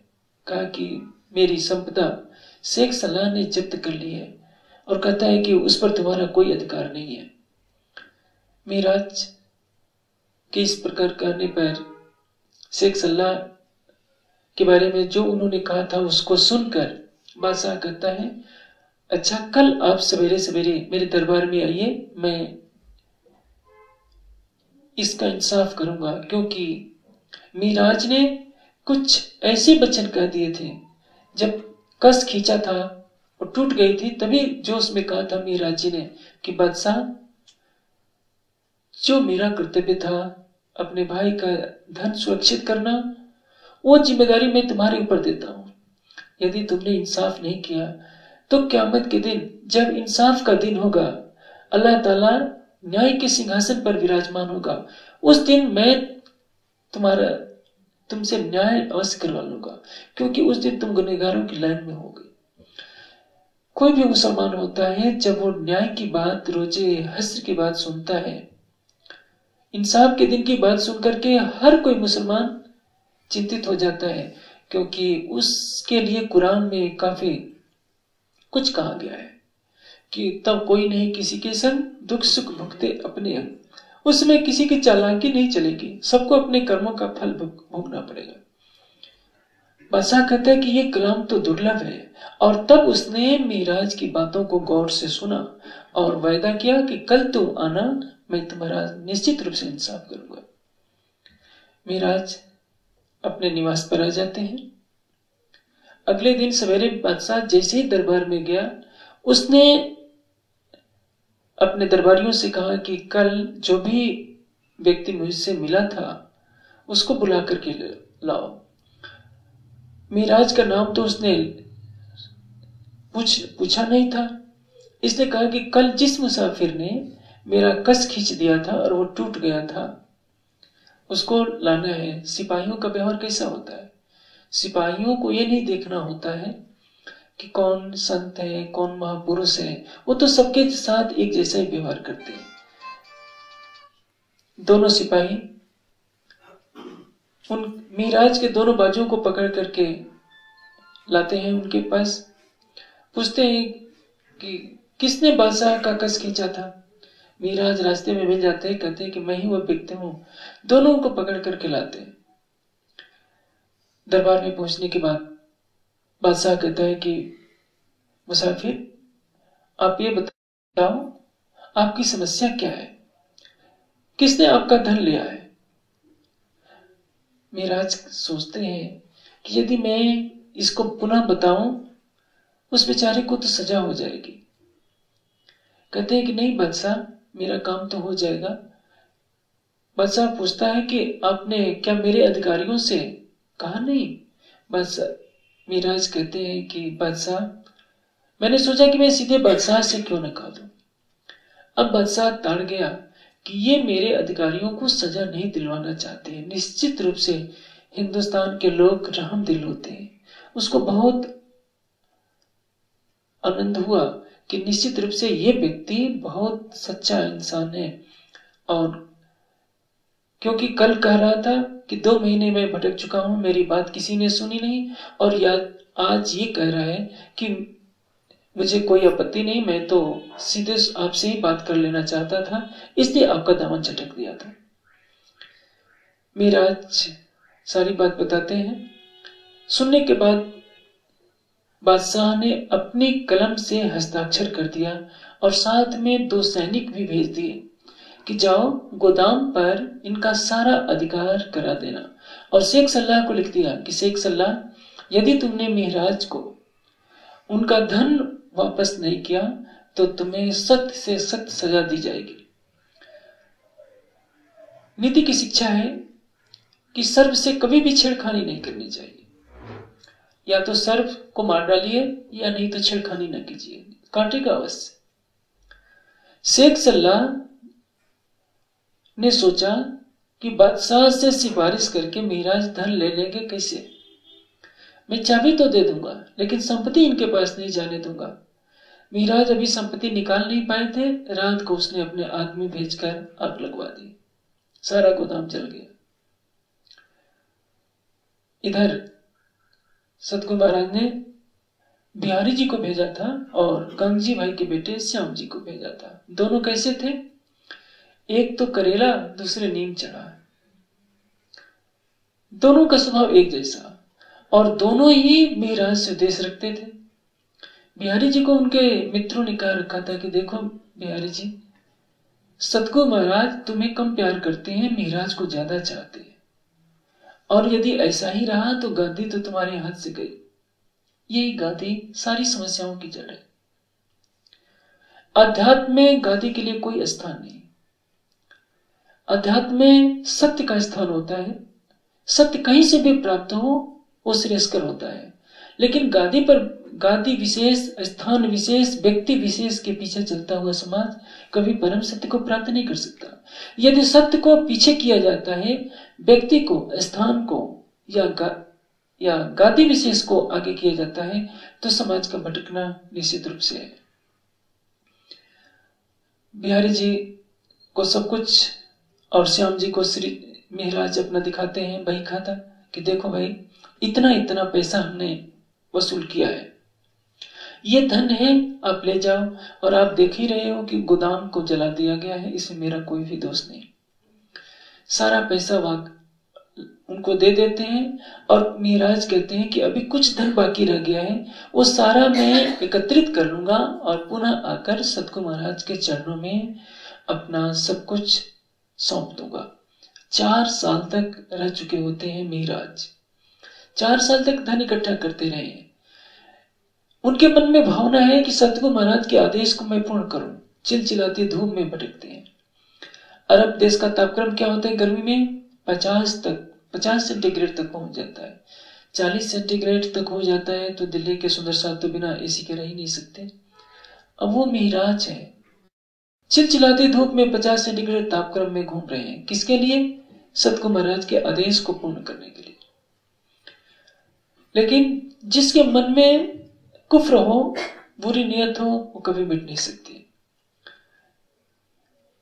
बिहारी जी और श्याम जी ने सोचा कि मेहराज ने इतनी सेवा एकत्रित की है, ये तो सतगु महाराज का और प्रिय बन जाएगा। इसलिए सतगु महाराज से जाकर के उल्टी शिकायत करनी है कि मेहराज ने तो सारा धन हड़प लिया। दोनों आकर गंगजी भाई से और सतगु महाराज से उल्टी सीधी बातें करते हैं कि सतगु महाराज मीराज तो चोर है, उसने धन काफ़ी हड़प लिया है और देखिए थोड़ा सा धन दे दिया है। सतगु महाराज ने तो उन्हें फटकार दिया कि तुम लोग झूठे हो, जैसे तुम हो, वैसे ही मीराज को सोचते हो। चंद्रमा में तो धब्बे लग सकते हैं, लेकिन मेहराज के उज्जवल चरित्र में धब्बा नहीं लग सकता। मैं तुम दोनों की बात नहीं सुनूँगा। गांधी भाई ने भी अपने बेटे को फटकार दिया और सतगु महाराज ने भी फटकार दिया। अब उन्होंने सोचा कि सतगु महाराज के मूल लगी कौन है? बालबाई वेद में लिखा है, नारिणाम असास्यम मन। नारी का मन प्रशासन की क्षमता नहीं रखता। नारी को प्रधानमंत्री बना दीजिए, न्यायाधीश बना दीजिए, सब कुछ बना दीजिए। लेकिन राजा नहीं बनाना चाहिए, वेद का ऐसा कहना है। क्यों? चंचलता, कोमलता, तीक्षणता, ये तीन दोष होते हैं। जिस व्यक्ति में चाहे पुरुष ही क्यों ना हो, पुरुष में यदि स्त्रियों का यह तीन दोष है, पुरुष का स्वभाव यदि चंचल है, तीक्ष्ण है और कोमल है तो कभी वो प्रशासन नहीं कर सकता। विदेशी शत्रु ने हमला कर दिया और पहले दहशत के मारे राजा के प्राण सुख जाए तो क्या वो देश की रक्षा करेगा? इसलिए राजा में धैर्य का गुण होना चाहिए, शालीनता का दोष गुण होना चाहिए। संकट से उबरने के लिए संघर्ष का गुण होना चाहिए, वही व्यक्ति राजा बन सकता है। जिसका दिल इतना कोमल है कि हर चीज़ में घबरा जाए, बोलने को कुछ, बोल दे कुछ तो ये इस तरह दोषों से युक्त भी व्यक्ति भी उच्च उच्च स्तर का राजा नहीं बन सकता। आप सोचेंगे कि दुर्गावती भी तो राज्य संचालन की, लक्ष्मीबाई भी राज्य संचालन की, इंदिरा गांधी ने भी राज्य संचालन किया, लेकिन इनमें स्त्रियों का यह गुण नहीं था। उनका हृदय मज़बूत था। जब रानी लक्ष्मीबाई का विवाह हुआ था विवाह होकर के आई थी। उन्होंने सोचा कि एक महीने तो तलवार चलाते हुए छूट गए मैं देखूँ तो मेरा हाथ अभी कैसा है। तलवार उठाकर एक थंबे पर मारा, थंबा कट कर गिर गया। रानी लक्ष्मीबाई कहने के लिए स्त्री थी। उनका हृदय पुरुषों की तरह था। दुर्गावती का हृदय पुरुषों की तरह था। इसलिए जब तक योग्य गुण ना हो, उसको अधिकार नहीं मिलना चाहिए। बाल भाई मुँह लगी तो है, लेकिन मन चंचल है। बाल भाई को बका दिया, देखो बुआ मेरा चोर है। तुम्हारे भाई का धन तो उसने हड़प लिया। गोदाम में खुद आग लगा दिया और कह दिया कि आग लग गई थी। हमको थोड़ा सा धन दे दिया है और खुद पैसा डकार गया है। अब मिराज को उधर से आना है। बाल भाई क्या करती है? सदगु महाराज को भी नहीं बताती है। सीधे राजा के पास चली जाती है। यह है चंचलता का लक्षण। चंचल व्यक्ति बिना सोचे तत्काल निर्णय ले लेता है, उसका परिणाम भयंकर होता है।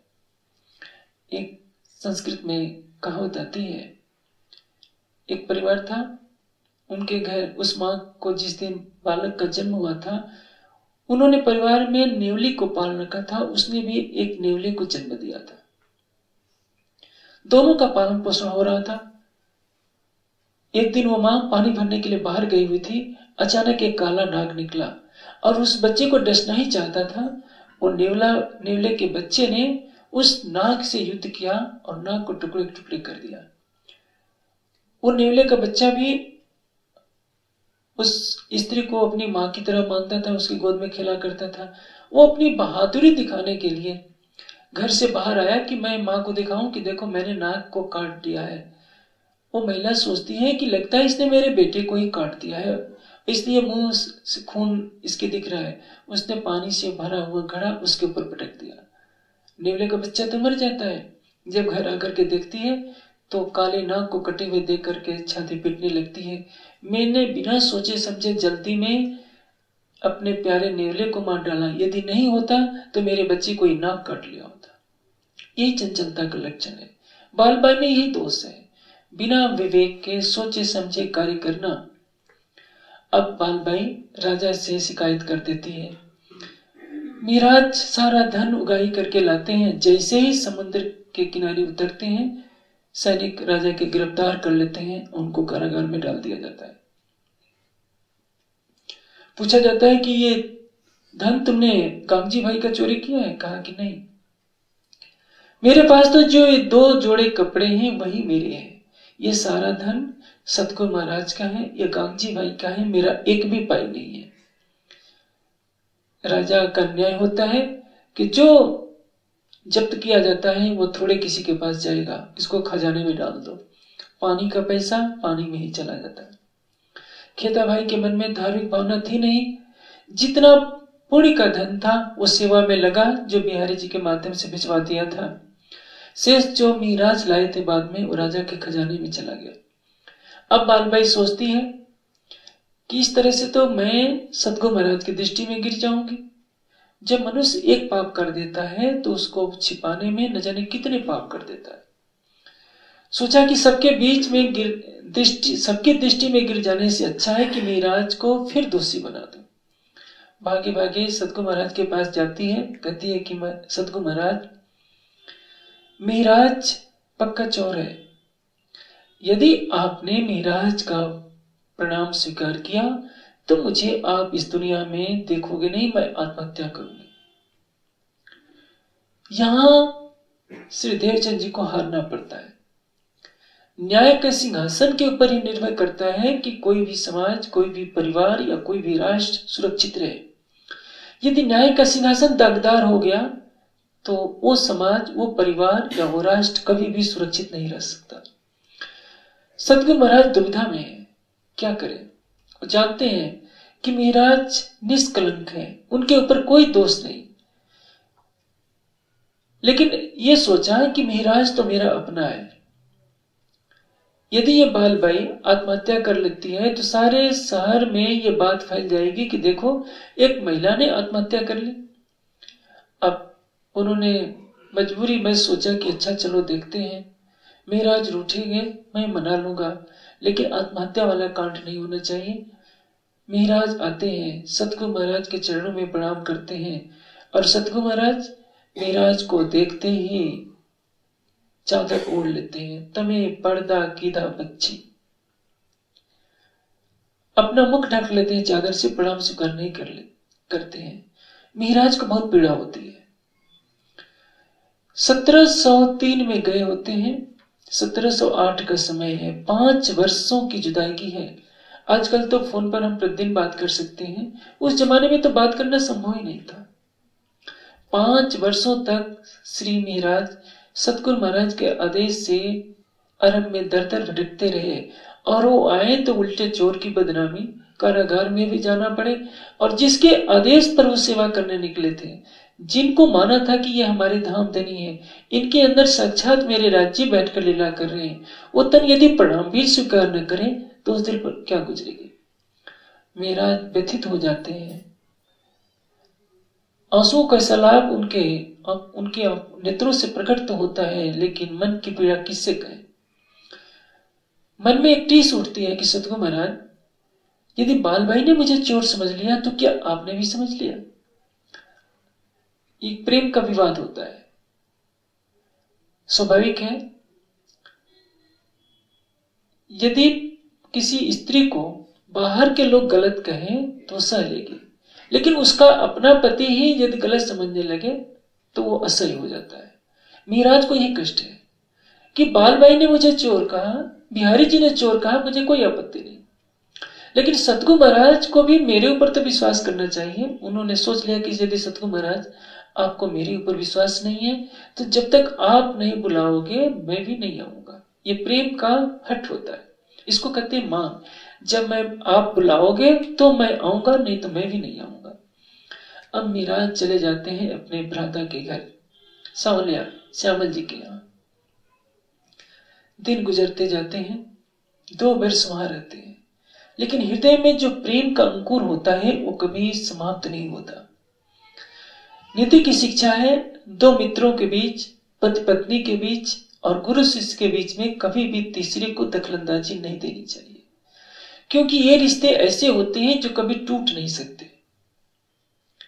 कभी ना कभी एक अवश्य होंगे। मीराज के अंदर जो सतगु महाराज के लिए समर्पण है, जो प्रेम है, वो कभी कम तो हो नहीं सकता, समाप्त तो हो नहीं सकता। घर बैठे ही विरह करते हैं। एक पूरी माए अम बैठा धनी इसी एक पूरी में मैं भी हूँ नौतनपुरी में मैं भी हूँ, और आप भी रह रहे हो। आज दीपावली का त्योहार है। सब सुंदर साथ इकट्ठे होकर दीपावली का त्योहार मना रहे हैं। मेरी भी तो इच्छा है कि मैं आपके पास आऊँ। होली का त्योहार है। मेरा सोचते हैं कि सब सुंदर साथ सतगु महाराज के पास गए होंगे। मैं इंद्रावती की आत्मा यहाँ तड़प रही हूँ। यदि सतगुरु महाराज मुझे बुलाए तो मैं भी आकर गुलाल खेलूं, सबके साथ आनंद में मग्न रहूँ। जो मीराज सतगुरु महाराज के बिना रह नहीं सकते थे, अब वो मजबूर हैं, एक ही पूरी में रह रहे हैं, जा नहीं सकते। ये सारा विरह उतरा है सट्टुति खट्टुति के अंदर। और उन्होंने संकेत किया है, बिहारी जी और बालबाई को संकेत करके। वर्णित किया है धामधनी ने, सुंदर साथ के वास्ते ये सिखापन दिया है। उद्धव कहा गया है बालबाई को। अक्रूर और यदुराय कहा गया है बिहारी जी को, और उद्धव के नाम से संकेत कर करके उन्होंने समझाया है। इस प्रकरण में ब्रज लीला का दृष्टांत दिया गया है, जैसे गोपियाँ श्री कृष्ण को चाहती हैं। दो श्री कृष्ण हैं, एक श्री कृष्ण मथुरा वाला है, और एक श्री कृष्ण वो है ब्रज वाला जिसने सात दिन गोकुल में और चार दिन मथुरा में लीला की होती है। बालबाई भूखा निभा रही है उद्धव की। जैसे उद्धव ने संदेशा उद्धव को संदेशवाहक बना करके भेजा था। कृष्ण ने कि जाकर के उनको शिक्षापन दो। उसी तरह से भाई की भूमिका कई जगह कार्य करेगी। सतगुरु महाराज के देह त्याग के पश्चात बिहारी जी महाराज को गादी पर बैठाने में बाल भाई की महत्वपूर्ण भूमिका रहेगी। और बालबाई की गादी पर बैठाने मात्र से बिहारी जी को अक्षरातीत सिद्ध करना चाहती हैं। इसलिए उस प्रकरण खटुति के प्रकरण में द्रौपदी जी कहती हैं, रे उद्धवडा तारी मत लई जा रे तू साथे। रे उद्धव, हे बालबाई, यदि तू गादीपति बिहारी जी को अक्षरातीत मानना चाहती हो तो ये मान्यता मुझे स्वीकार नहीं। हमारा धनी अंपा से, गोपियों ने उद्धव से क्या कहा था?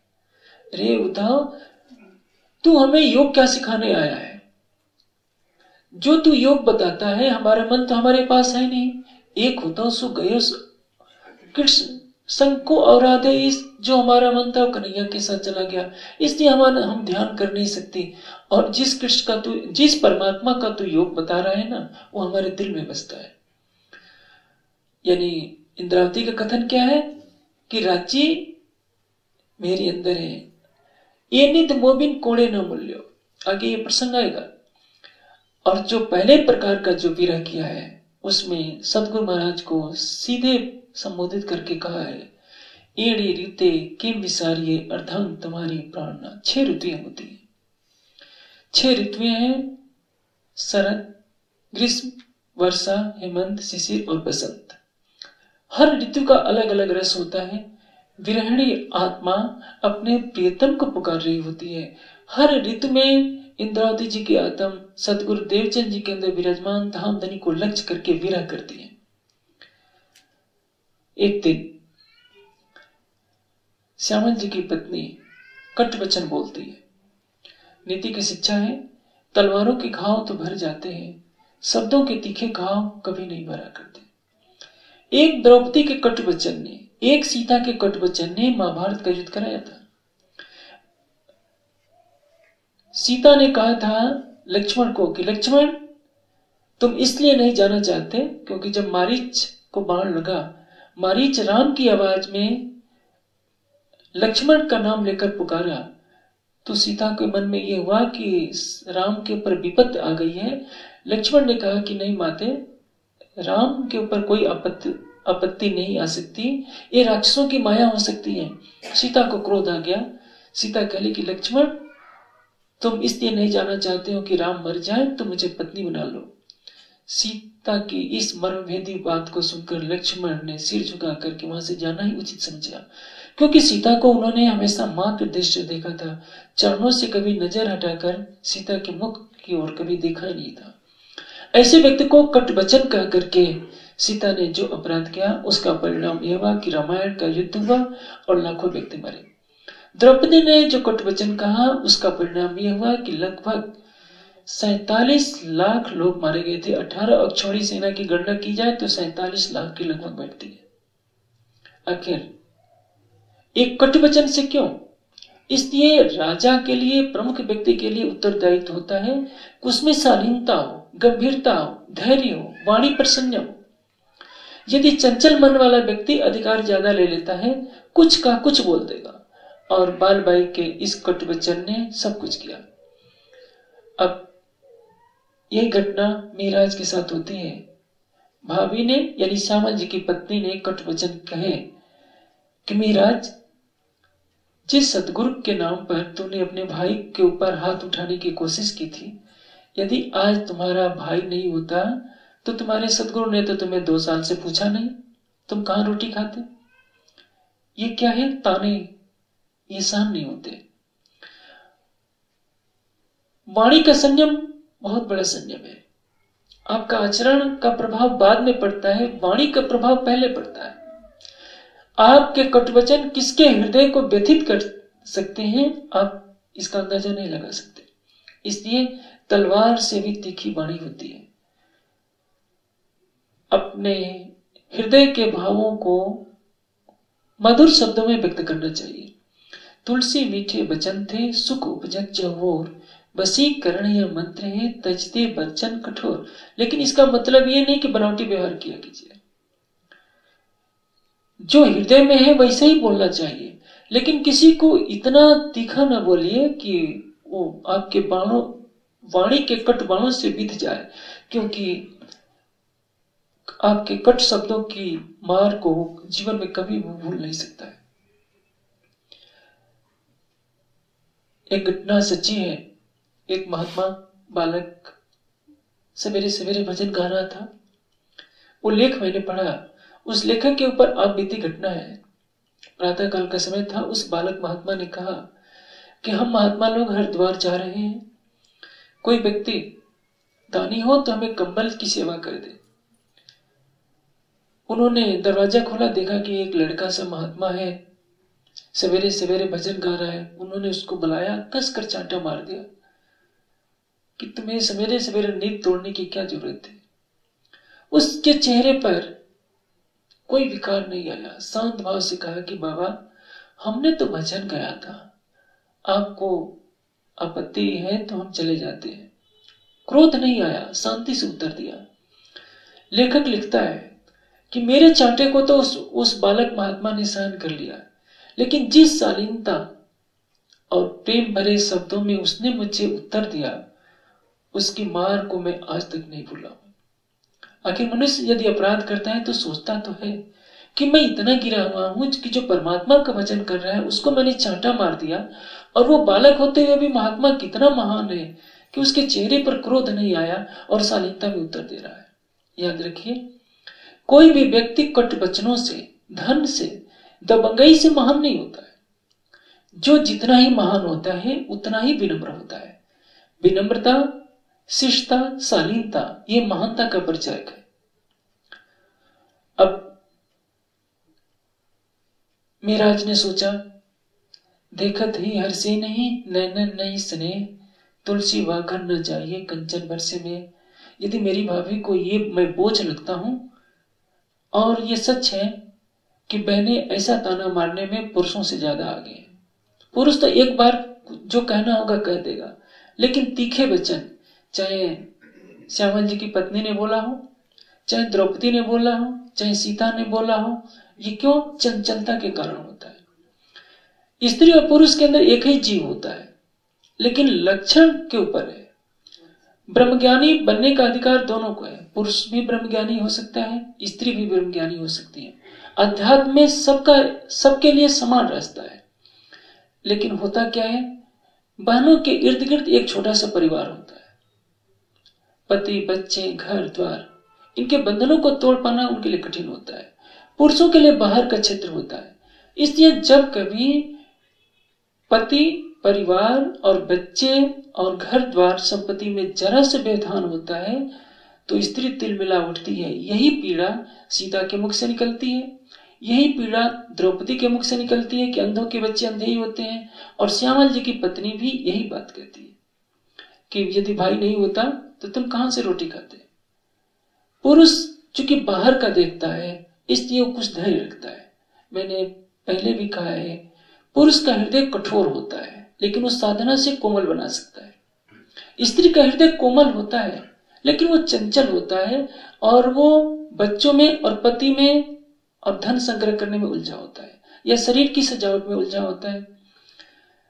बालक का मन बिल्कुल निश्चल, पवित्र होता है, लेकिन उसका मन चंचल होता है। प्रकृति ने सब में कोई ना कोई कमी बना रखी है। पुरुषों में कुछ कमियाँ कुछ कमियाँ बहनों के अंदर है, कुछ कमियाँ बच्चों के अंदर है। अध्यात्म की डगर पर चलने वालों को इन सारी कमियों को दूर करना होता है। जो इन कमियों को दूर कर लेता है, चाहे कोई भाई हो या बहन, सफलता का दरवाज़ा उसका उसकी प्रतीक्षा कर रहा होता है। अब मीराज वहाँ से चल देते हैं। कला जी के पास जाकर के वज़ीर के पद के लिए निवेदन कर देते हैं। कला जी एक छोटी सी रियासत के राजा हैं। अच्छी व्यवस्था करते हैं, दो साल वहाँ रहते हैं, चार साल बीत जाते हैं। अब समय है विक्रम सत्रह सौ बारह का समय आ जाता है। अब देवचंद जी के धाम गमन का समय आ पहुँचा है। देवचंद जी कभी भी शांत नहीं रह पाए राम का प्रत्याग करके, सीता का प्रत्याग करके राम कभी भी चैन की नींद नहीं सो पाए। राज्य की मर्यादा के लिए सीता का परित्याग तो किया, लेकिन वो जानते थे कि सीता निर्दोष है। मैंने मर्यादा की रक्षा के लिए, बदनामी से बचने के लिए ज़रूर सीता का मैंने परित्याग कर दिया है। उसी तरह से बाल बाई के दबाव में सदगुरु धनी देव चंद जी ने प्रणाम स्वीकार नहीं किया, लेकिन सदगुरु महाराज जानते हैं कि महाराज तो बिल्कुल निर्लेप है। अब बाल भाई को कहते हैं कि बाल भाई जाकर के मीराज को बुला लाओ। बाल भाई को मालूम है कि मीराज कला जी के पास है। आकर कहती है कि मीराज, तुम चलो।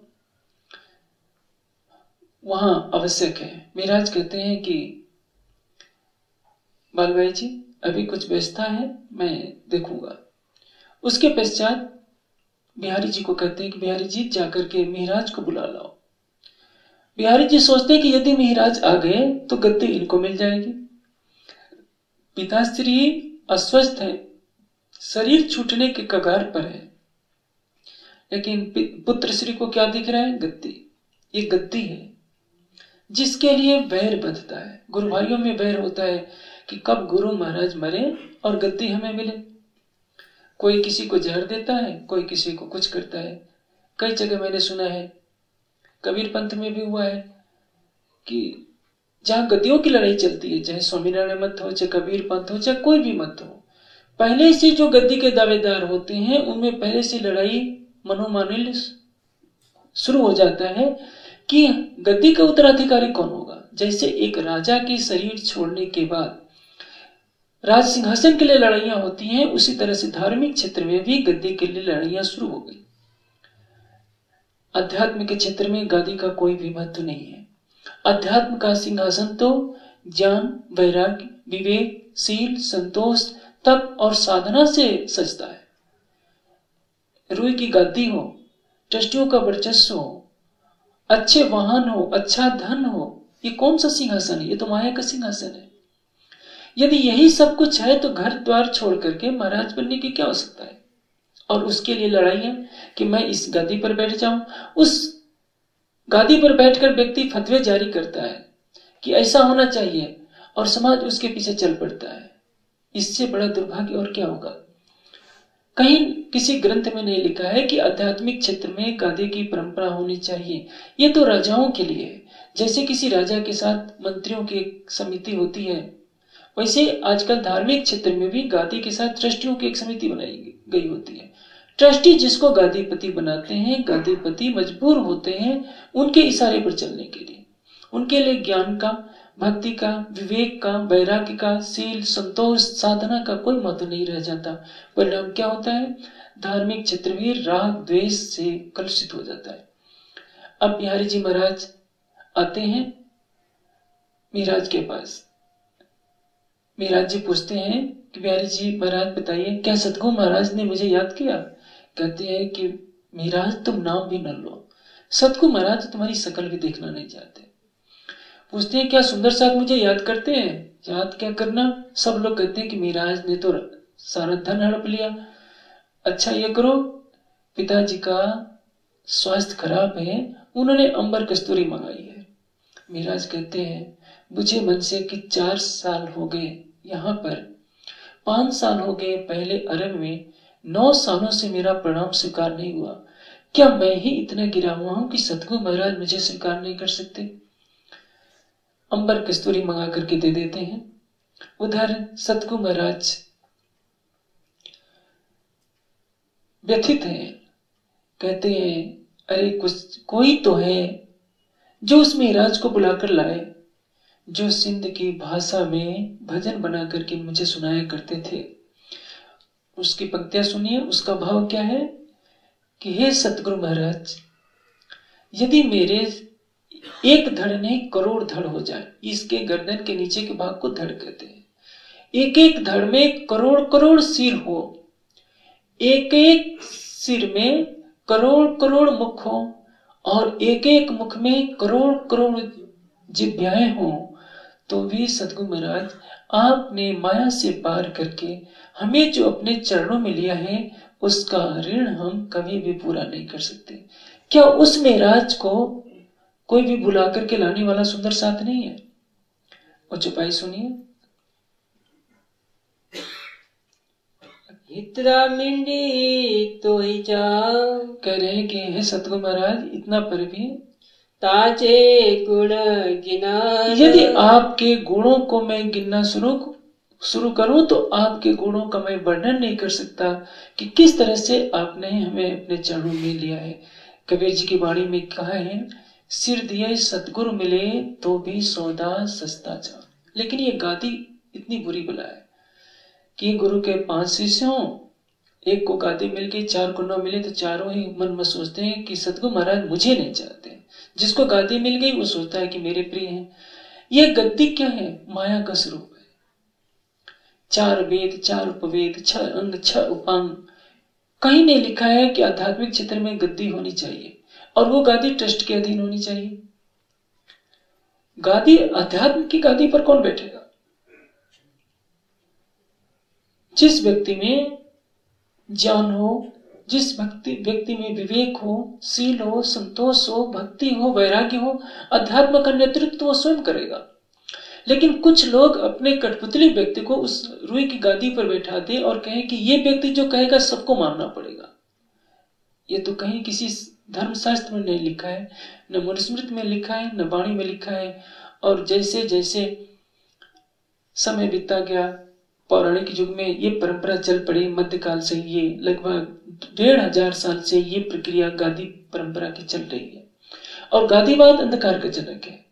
उस गादीवाद के कारण बिहारी जी महाराज ऐसा नहीं कर रहे हैं। दोबारा बिहारी जी को भेजते हैं। बिहारी जी पुनः आकर कहते हैं कि महाराज, सतगुरु महाराज तुम्हें याद तो नहीं करते?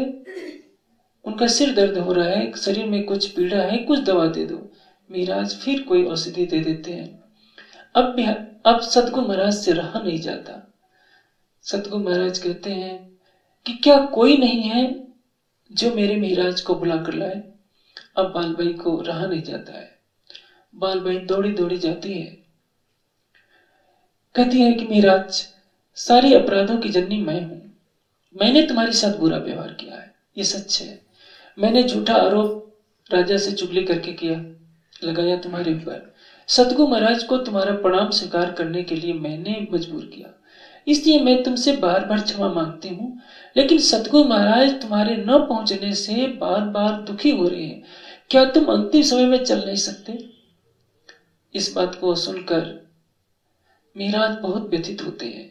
खटती में ये शब्द इस प्रकार से व्यक्त किए गए हैं, अक्रूर ते इंडू चढ़ाव्यो अक्रूर श्री कृष्ण को बुलाकर के गोपियों के बीच से ले जाते हैं मथुरा। गोपियों को बहुत कष्ट होता है। और उद्धव उद्धव भी आकर के श्री कृष्ण का संदेश गोपियों को देते हैं कि, गोपियों, तुम श्री कृष्ण के पीछे क्यों पागल हुए जा रही हो? उस सर्वशक्तिमान, न्यायकारी, सकल गुण निधान, परमात्मा का ध्यान करो। योग साधना से प्राप्त होगा। श्री कृष्ण के पीछे इतने पागल न बने कि सवेरे से लेकर शाम तक तो कुछ खाती पीती नहीं हो और रास्ते में बैठ बैठ कर उनकी बात देखती रही हो। गोपियों को दोनों बात चुभी, लेकिन उद्धव की बात ज़्यादा चुभी, क्योंकि अक्रूर ले गए थे। तो कृष्ण जी ने यह कहा था कि मैं चार दिन के बाद तुम्हारे पास आ जाऊँगा। लेकिन उद्धव तो कह रहा है कि तुम बिल्कुल ही भूल जाओ। मिराज को पीड़ा ये है कि बिहारी जी महाराज तो ये कह रहे थे कि सतगु महाराज तो तुम्हारा नाम भी नहीं लेते, तुम्हारी शकल भी देखना नहीं चाहते तो मुझे कोई पीड़ा नहीं है।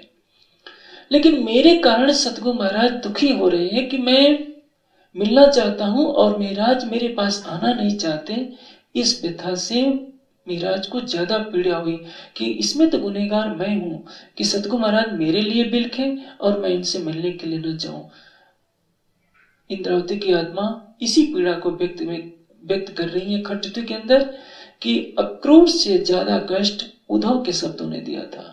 यानी, बिहारी जी महाराज बैरी भावना रखते हैं बैर भाव रखते हैं, लेकिन बिहारी जी के शब्दों से ज़्यादा पीड़ा बालबाई के शब्दों से पहुँचती है मेराज को।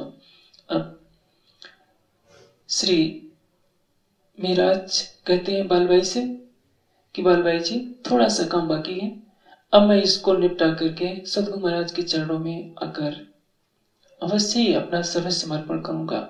कला जी से कह देते हैं कि महाराज, अब मैं निवृत्त होना चाहता हूँ, अब मैं इससे इसका बोझ नहीं संभाला जाएगा। क्योंकि सतगु महाराज पुकार रहे हैं।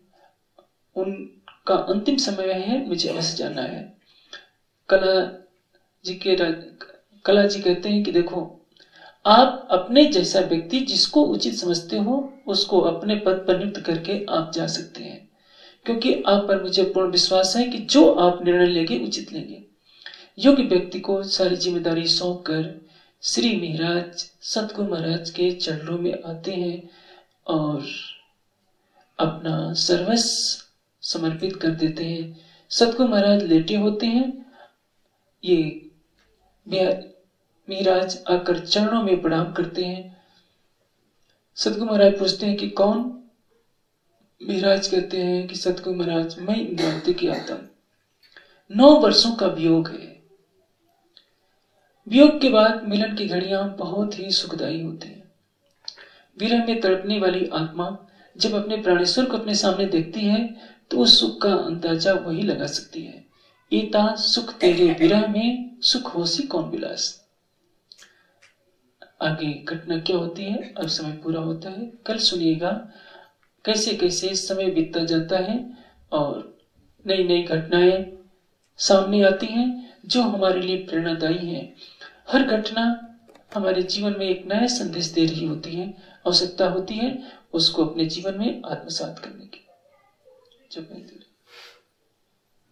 ये बचन सुन के यह बचन सुन के बाल बाई पहुँची धाए बाल बाई पहुँची धाए मेरा तुम्हें क्या हुआ? मेरा तुम्हें क्या हुआ? एते बुलावने आए। एते बुलावने आए। एते बुलावने आए।